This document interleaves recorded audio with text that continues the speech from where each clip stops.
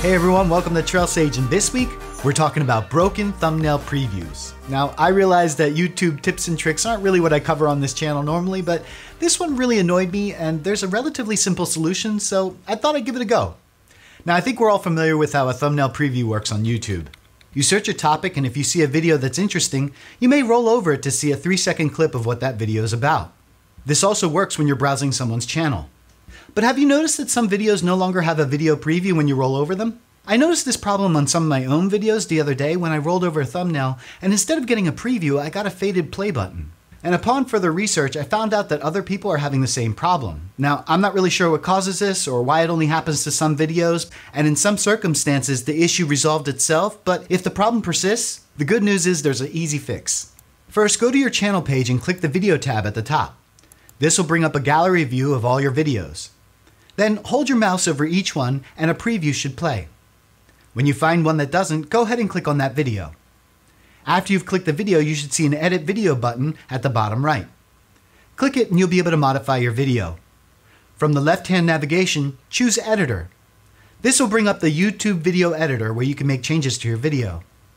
Now select the Trim button above your timeline on the left. A blue highlight will appear over your whole timeline. Zoom in all the way using the magnifying icon at the top right of your timeline, and now scroll to the end of your video. Once you're at the end and you're zoomed all the way in, take the blue highlight and drag it two frames to the left. Now I want to take a moment here to be extra clear. You're not looking to shave off seconds off your video, just a couple frames. Pay close attention to the timestamps along the top of your timeline and make sure you're only trimming off a couple frames and not seconds. And that's why it's important to zoom all the way in. Okay, so once you've dragged the blue highlight a couple frames, click Preview from the menu at the bottom. Then click the blue Save button at the top right, and this will prompt the dialog box to open explaining that the original video will still be available to you if you want to recover it. Go ahead and click Save to close the window and initiate the trim. You'll get a message at the bottom confirming that you've made the change and to check back again later. The process usually takes about 20 minutes to an hour to complete depending on how long your video is, but once it's finished, you should just be able to refresh your page and the thumbnail should show a preview again. Now, I do want to note if you have a longer, heavier 4K video, it could take a little bit longer, but don't worry. Your video will never appear down. It just may take a little bit more time for the rollover to show a preview until the processing is finished.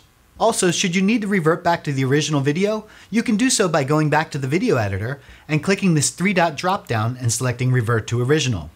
Finally, I know how hard it is to pause a YouTube video while following instructions, so I laid everything out step by step on my website, trail-sage.com, so look for the link in the description below. Well, that's it. So now that you know how to fix the video preview, here's a pro tip.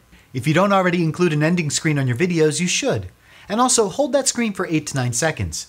Not only is this a good way to put up suggested videos and subscribe buttons, but having extra video at the end will allow you to trim a frame or two off without affecting your content.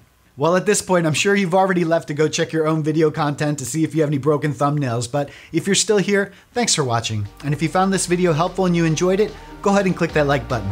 And if you want to see more content like this, feel free to subscribe. Thanks for watching.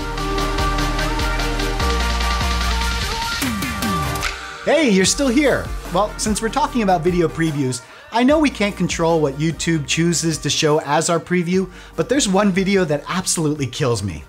You bust your butt for two weeks shooting and gathering footage, making graphics and scripting out storyboards for, I don't know, let's just say a how to improve your technical running video. And the section that YouTube chose to preview? Yeah, me sitting on the couch with my laptop. Yeah, that's some real technical couch sitting going on right there. Anyway, that's it for my rant. I'll catch y'all next time.